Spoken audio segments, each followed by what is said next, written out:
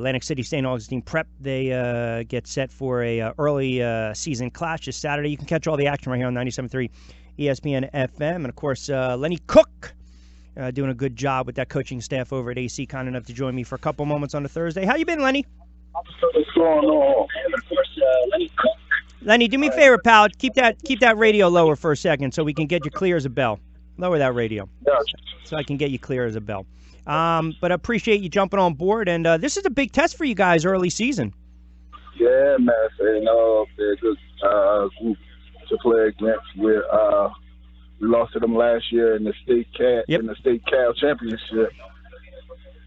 And you know, you got the uh, you know, you look at St. Augustine as you mentioned the track record, and going back and uh, I think 2016 that was our fifth state championship since uh, 2011. So you know, th- this is kind of where the rubber meets the road, so to speak. But I look at you guys. You know, you got a bunch of seniors on the floor, but I'll tell you, you got some scores. You got some guys that can flat out ball. I mean, this kid uh, Bethea Jr. I think he's averaging right around 34. You had the big win against Ewing um, before in that tip off back in Ocean City. So you've got some scorers on your team.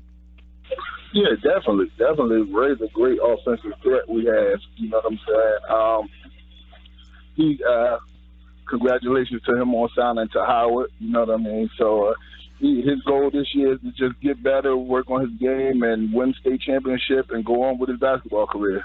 And you have, I believe, you and uh, Coach Allen, you have one, two, three, four, five, six. You have seven. Yeah, well, you're all seniors. You got a couple sophomores and one junior. So, has anyone else um, uh, that we know of or don't know of has already committed uh, after this year? Yeah, we got uh we got Flash Morgan who Mhm. uh who signed yep. yesterday. He, uh he, he signed yesterday going to the University of Maine um for football. Um we're working on uh Nazim Derry. Yep. We're working on him right now. Okay. Uh, he's like one of our best defenders on the team, if not the best defender on the team.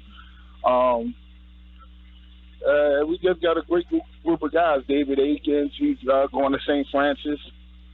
Yeah, and you mentioned Darian Akins actually contributed in that win against Ewing. You know, so again, you talk about the, the depth, you talk about the bench, but you talk about some of these unsung. I mean, Bethea to me, this kid Ray, eh, you know, he he is a natural scorer. I mean, he's averaging 34. I know the season's early, but that's got to be something to watch where a kid can basically take over a game. Yeah, he definitely he definitely can take over the game. He's strong, athletic. Um, he's shooting the ball at a high percentage. Um, he shot the ball uh, against Ewing. He was uh, 13, 13 for 19 from the field, um, 36 points with no threes. So he's shooting the ball at a high percentage, and he's taking high percentage shots.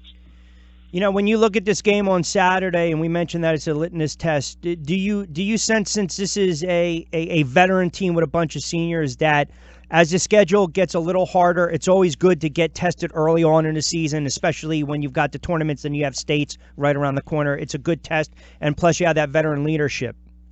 Yeah, I, I, I think it's a great uh, a great test for our guys right now. Um, being that once we get into the state playoffs and stuff like that, running against guys that's up north, um, St. Augustine is our best competition in the Cal.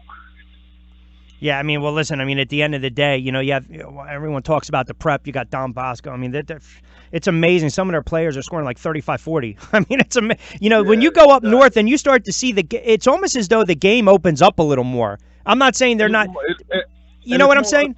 Yeah, exactly. Forget about half court offense. I mean, the fundamentals are there, but it's up and down the floor. Yeah, definitely, definitely, and, and I think that's where Ray fits in best with us because he he he liked the running gun. Um, Dave liked the running gun. Zim is more of a slow down, get the team where they're supposed to be, and run the sets. And and Flash is just a flat out athlete.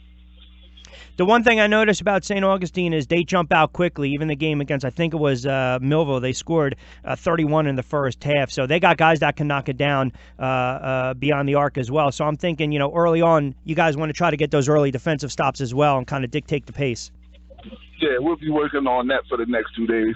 Yeah, without giving the game plan away. Hey, listen, um, you know, I would be remiss if I didn't ask you a little bit NBA because you and I always like to go back and forth. All right, you're watching the Sixers here, and I'm curious, w- why do you think Simmons is so reluctant to shoot the basketball? Man, I don't, I don't know, I don't know what it is, man. I mean, he's he's a flat out scorer. Um, I just, he, I just think he needs to work on his jump shot a little more. Yeah, but it, then if that's the case, if if if the coach at Brown tells him go out and just shoot, don't worry Yeah, about it'll. the green light. I, if he got the green light, he's supposed to just go out and shoot the ball.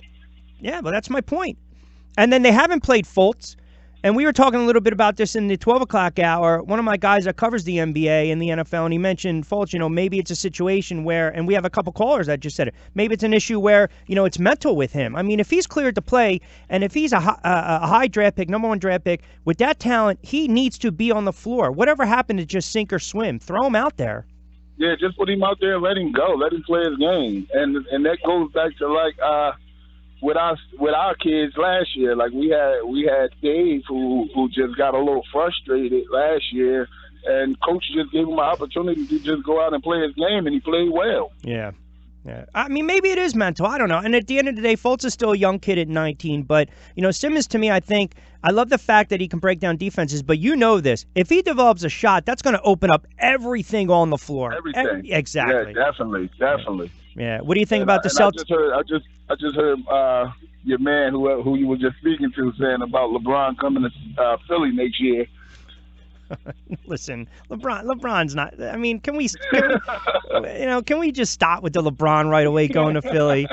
Can we just let the season play out first? You would agree with me, though, in the Eastern Conference, it would be a disappointment. Even if Embiid plays 45, 50 games, if this team doesn't make the playoffs in the Eastern Conference, it's a disappointment. Yeah, it definitely is with the talent that they have. I- I- listen, are, are are are the Celtics? I mean, is this is this their year? Can they dethrone Cleveland? I, I I don't see nobody beating Cleveland in the East coming out the East. The one thing about the NBA, it's so it's such a long season. I, I really you start getting into it after the holidays for that stretch run. Um, you know, the one thing about LeBron, I, I, he, they're going to have to kind of cut down his minutes though because he's logging a ton of minutes. You would think though, if they if they race out to say like 35 and 13 record, I think there'll be some spots where they will cut back his minutes to to preserve a little more gas in the tank come playoff time. I mean, I, I I think I think this is what he wants. You know what I mean? He's playing like the best out of his career after 15 years, man, and he takes care of his body. So I really don't I really don't see him see him sitting down much. Uh, before I let you get out of here, wh- what's your thoughts on the Knicks? Oh man, it, it's sad to say, but Well, don't, don't Well, start to Jenkins say. don't- looking great, man. exactly. That's all I wanted to hear. I wanted confirmation from you that the unicorn can play. yeah, he's definitely playing great. And, and I was kind of disappointed that my man Melo went there and couldn't get that win, but Listen, that's not. uh, At the end of the day, that's Phil Jackson. And we've I mean, had yeah, this discussion. It's Phil Jackson. It's because he, yeah. he, I mean, he he did his job as a Knick, and he, he was very professional with it. Yeah, I think there was a lot of pressure put on him, you know, because they were trying to look for that next, you know, the, the face of that franchise, the next, you know, Patrick Ewing, and it, it's hard to do. And even Patrick is as much a beloved a player. Listen, he never won anything.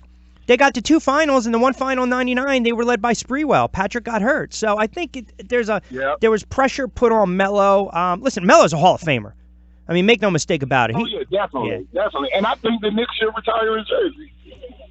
Uh, they might. They might. They might do that. I'm curious to get your thoughts on this. When we've had this discussion before, everyone's talking about LeBron, and then you know he's getting a little older. Uh, how much more uh, uh, gas in the tank he has, and for some reason, people still come playoff time, come finals time, they want to compare him to Jordan. Please t- explain. It's not. You can't compare the two. I mean, I don't think it's a comparison because Michael Jordan changed the style of the game. But me, like I like I, I said the other day on Facebook, arguably he will be the greatest basketball player ever. That's just my opinion. But again, what people are going to say is he's never going to be able to catch Jordan in certain areas. And he'll never have the killer instinct that Jordan had. He, that he would never had a killer instinct. Yeah. He would never had a killer instinct. But the stat speaks for itself. Only thing people can say right now is he can't catch the rings, and Mike was six and zero in the finals. And you know what hurt him too is the fact when he went to Miami and he said, you know, we'll win two, three, four, five championships. Exactly. And it, it rubbed people the wrong way. All right. Oh, I'm getting now. I'm just uh, starting to get a little juice in the in the studio now, talking a little NBA with you. So you know, you got an open invite. We'll get you in in a couple more weeks, so you and I can go back and forth. Because you know we have a lot. To, we have a, yeah, we have a lot to argue about. yeah. well, listen, Yeah, uh, you, me on, uh, you got it Uh, anytime, man. You guys, uh, you and uh, uh, uh, Coach Allen, the best of luck on Saturday, and uh, you know we look forward to a good season with you guys, and uh, we'll definitely get you back on, and appreciate it, and good luck against uh, St. Augustine, pal. Hey, get with you later, Rich. All Thanks right, again. you got it, Lenny. Be well, pal. Lenny Cooke, uh, one of the assistant coaches on uh, Coach Allen's staff there in Atlantic City. Uh, they got some players, man. This this this one kid. phew. I don't care what level you're on. When you're scoring 35, 36 early on in the season, th- this kid Bethea is a good player.